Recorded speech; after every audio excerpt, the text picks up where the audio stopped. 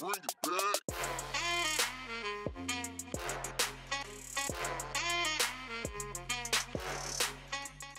Good morning, Panthers. My name is Javion, And my name is Emma. and it's a great day to be a Panther. Congratulations to the students of the week. Great work to Mara Lassant, Connor Barrios, Samantha Velez, and James Combs.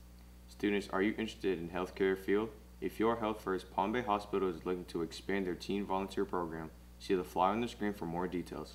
Fine arts students interested in being part of the Summer Fine Arts Theater Fest, be registered now through April 29th to be part of the summer production of Peter Pan.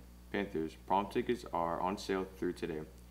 Prom tickets are $50. You can buy tickets from Miss Gonzalez, who will be sitting by the auditorium during all lunch periods, and Miss Farides in the front office. There will be a career and technical education job fair on Tuesday, May 3rd from 3 p.m. to 6 p.m. See the flyer on the screen for more details. Attention students, the University of Florida Extension Program of Brevard has two summer teen opportunities, an adult camping and a teen teacher volunteer opportunity.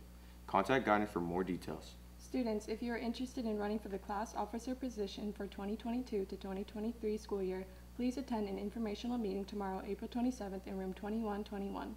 This meeting will be held before school at 8:15 a.m. and after school at 3:40 p.m. Students will need to attend one of these two meetings in order to run for class office. See Ms. Rock for more details. Seniors, there's a community service scholarship program available until May 10th. See the flyer on the screen and guidance for more details.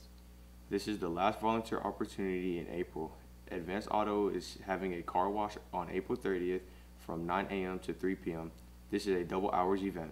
Panthers, there's a Heritage High School Facebook page at the address on the screen in order to keep everyone better informed about important campus events and information.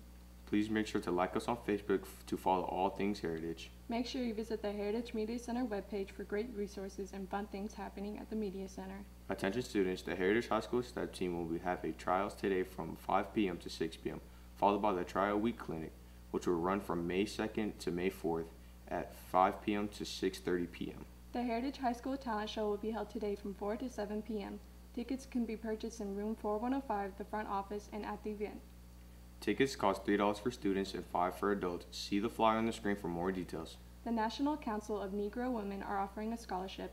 Eligible students must apply by April 20, 30th, 2022. Eligible students must be of African descent, have a minimum GPA of 3.0, have a, been accepted to a university or college for fall of 2022. See guidance for more details. That's all we have for today. Remember, Panthers are respectful, responsible, and prepared. And the Panthers are back. Have, a great day and go Big Blue.